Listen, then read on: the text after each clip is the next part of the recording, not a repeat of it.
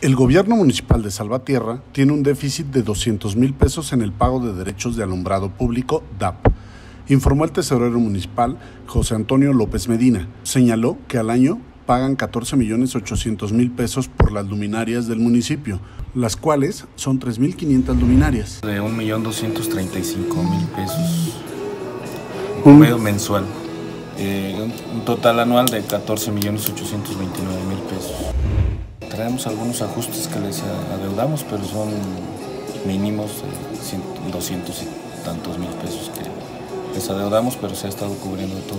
El tesorero comentó que este déficit se da mayormente porque hay luminarias que se quedan encendidas en el día y la ciudadanía no las reporta. Descartó que administraciones pasadas les hayan dejado algún adeudo, pues indicó que año con año se presenta algún déficit en el tema, pero este, aseguró, es poco. Por último, el tesorero hizo un llamado a la ciudadanía a reportar las lámparas encendidas durante el día a la Dirección de Servicios Municipales o a Presidencia Municipal y así se buscará atenderlas y esto no incrementará el pago del DAP.